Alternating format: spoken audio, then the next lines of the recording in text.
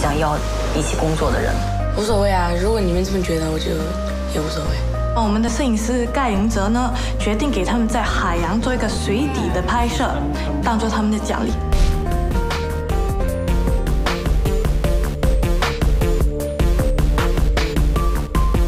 所以我们今天的训练呢，多了一项内容，大家会有一个小小的比赛，看谁在水中的憋气时间最长，憋的时间最长呢，就会有跟盖林泽摄影师一个水上拍摄的机会。那现在看来呢，比赛确实是很有鞭策力的。姑娘们的训练更努力、更认真了。毕竟每个模特都希望与盖林泽有更多的拍摄机会。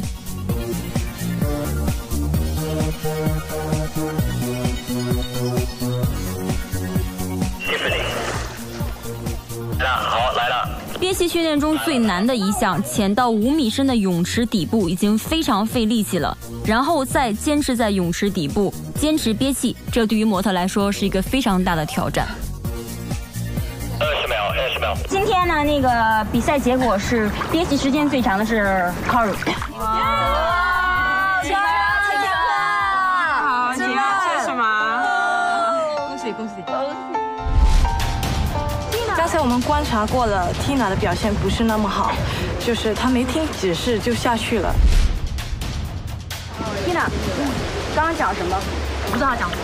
刚刚讲是一个一个一个下去，你在干什么？靠已经下去了。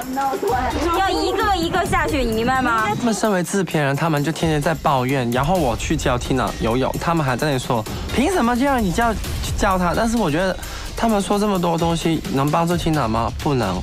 哦，就我在下面就一直咬着那个东西。啊，对，然后。对，然后因为现在下面是训练嘛，你要是感觉不适，你就这样。觉得 Diva 每天在水里面跟我们一起训练，这样子做没有什么不好的呀。包括呃，我们我们不会怎么样控制好自己的呼吸，Diva 都可以在旁边指导我们。你先在这儿，我们现在拍，你在这在这干什么？我知道他，他影响我们在这拍摄，你你自己跟不好，关我屁事啊！今天来你又迟到，你要说你自己 producer，九点钟你几点来的？十点半你才过来，你算什么 producer？在这里说。你他知道个球啊！你讲了几遍来着？我跟你讲了几遍来着？那我刚刚说下去，你有叫我说不要下吗？我吵吵吵吵屁啊吵！你嗓门大，你有理了是不是？你嗓门不大吗？你嗓门更大，我跟你说。行，你赶紧出去，赶紧出去。他妈的，他就是子，每一次就吵个没完没了，不知道他们想干什么。Jesse 就是在找茬，他就是有意见。我怀疑他是不是没读过小学，还是没读过幼儿园呢？以直升机为主题的拍摄，那这个这个拍摄是对模特们的一个奖励性拍摄，因为 Coru 赢得了这次的拍摄机会。那这次拍摄我们特意邀请了两位男模特来协助我们的拍摄，这个主题也非常富有创意。啊，这次变成 Caro 去拍这个 land shoot 了，那我可能确实我这次没有做好吧。嗯，我以后会更加努力的，一定会超过他。这次的拍摄是我第一次和直升机和飞机一起拍摄，这次的照片对我意义很大。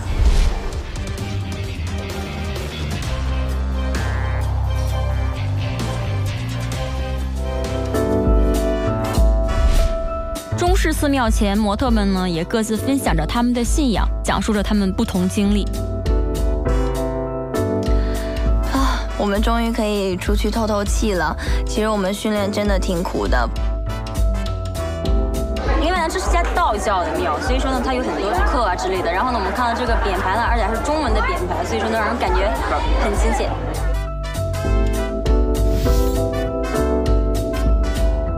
异国他乡的道教寺庙，这里的建筑以及人文气息，让我们感受到中国文化的传播与发扬。中式的屋顶与红墙以及牌匾上的汉字，让我们感受到了中国文化无处不在。对于这么长时间的艰苦训练，也是一个小小的放松，并可以让我们来到这里拜神，祈祷一下我们的寿能够顺利的完成。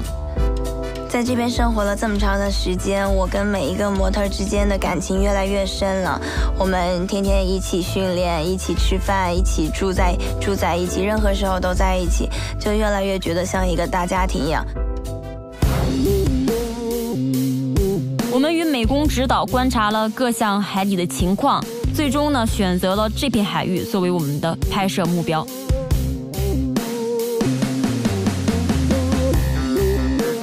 对，这个地方也比较适合我们今天拍，因为这个地方它这个你看一下，它我们能看到底下那个海草，所以说海的那个清晰度、能见度还是可以的。查一下适不适合做拍摄。OK，good luck。Giselle 呢，勇敢地跳下了海，努力去寻找适合我们拍摄的海下场地，并且呢，他还需要跟美工部门进行密切的海底沟通，来讨论一下是否适合我们这次的海底拍摄。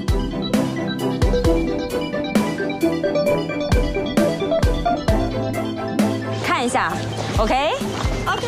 今天天气很好，然后呢，因为刚刚那会儿找的那个 location 不是特别好，现在找的 location visibility，然后呢，还有那个海浪都非常好，很适合水下拍摄。化妆间出海前，Tina 看得出来呢，非常的紧张，就连其他模特跟她开玩笑都不能让她完全放松了。